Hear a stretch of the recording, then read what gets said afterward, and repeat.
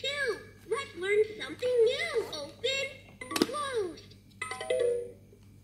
One, uno, two, dos, point, point. Pink nose.